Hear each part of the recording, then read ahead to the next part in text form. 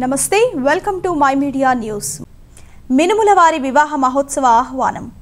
శ్రీ మినుముల రామారావు శ్రీమతి పార్వతమ్మ దంపతుల ఏకైక కుమారుడు చిరంజీవి నరేంద్ర వెంకట కిషోర్కు డోకులూరు వాస్తవ్యులు శ్రీ దూరు రామగోపాలరావు శ్రీమతి చెల్లమ్మ దంపతుల ఏకైక పుత్రికతో వివాహ వేడుక.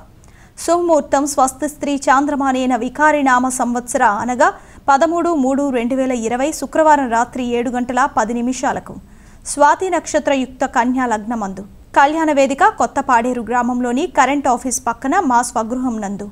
పదమూడు మూడు రెండు వేల ఇరవై మా స్వగృహం నందు మధ్యాహ్నం పన్నెండు గంటల నుండి నవ వధూవరులను ఆశీర్వదించాలని ఆకాంక్షిస్తూ ఇవే మా ఆహ్వానం. ఇట్లు భవధీయులు శ్రీ మినుముల రామారావు శ్రీమతి పార్వతమ్మ. కొత్తపాడేరు పాడేరు మండలం విశాఖ జిల్లా. స్థానిక మహాసంగ్రామంలో అమీతుమీకి సిద్ధమవుతున్న తెలుగుదేశం పార్టీ అధికార పార్టీకి కంగు తినిపించేందుకు హేమ హేమీలను రంగంలోకి దించుతుంది. విశాఖ ఏజెన్సీలో పార్టీకి పూర్వ వైభవం తెచ్చేందుకు పార్టీ యంత్రాంగం సర్వశక్తులు ఒడ్డి పోరాడుతుంది.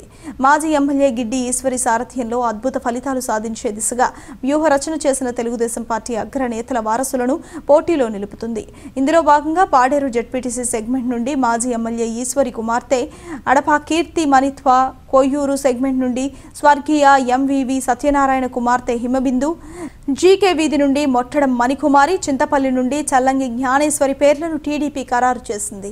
ఇక్కడ జరిగిన పార్టీ సమావేశంలో ఎమ్మెల్సీ నాగ జగదీష్తో కలిసి గిడ్డి ఈశ్వరి అభ్యర్థులకు బీ ఫారాలు అందజేశారు. తెలుగుదేశం పార్టీ తరఫున పాడేరు నియోజకవర్గంలో మా గౌరవ జాతీయ అధ్యక్షులు నారా చంద్రబాబు నాయుడు గారి యొక్క ఆధ్వర్యంలో స్థానిక ఎన్నికల యొక్క ప్రక్రియ పూర్తి చేసుకున్నాం. అలాగే ఇప్పుడే మా ఇన్ఛార్జ్గా ఉన్నటువంటి ఎమ్మెల్సీ నాగజగదీష్ గారు అన్ని వివరాలు కూడా అంటే ఐదు మండలాలు ఉన్నాయి. ఐదు మండలాల్లో ఎంపీపీల్ని జెడ్పీటీసీలని కూడా గెలిపించుకోవాలనేటువంటి ఒక దృఢ సంకల్పంతో ఎనభై నాలుగు ఎంపీటీసీ సెగ్మెంట్లతో ఈరోజు మేము సమరానికి సిద్ధమయ్యాం.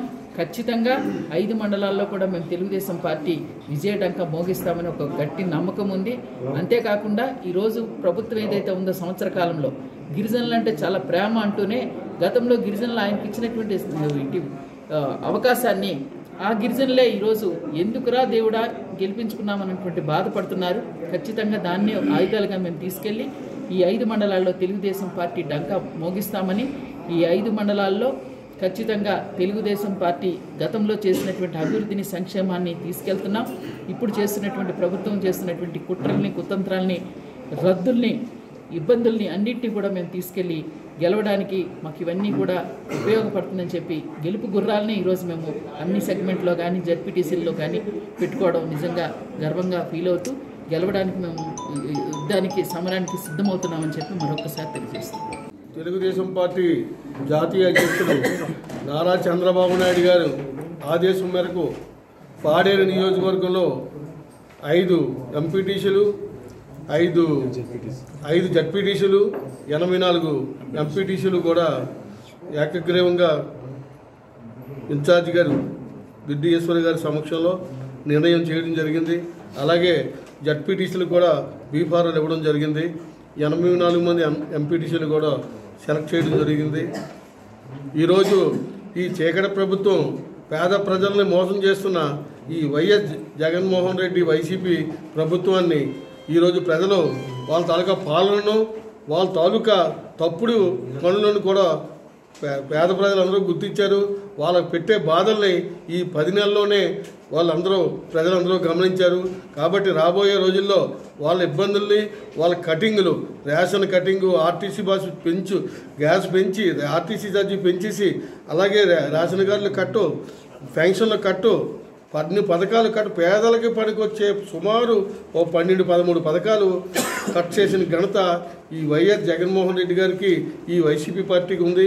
ఈ పది నెలల బట్టి మొత్తం జిల్లాలో ప్రజలందరూ గమనిస్తున్నారు. ఆయన మభ్యపెట్టేటట్టు ఏదో జిల్లా అభివృద్ధిని సైడ్ ట్రాక్ ఇవన్నీ తీసుకెళ్తారు కానీ ప్రజలకు మాత్రం ఏ విధమైన ఉపకారం చేయలేదు.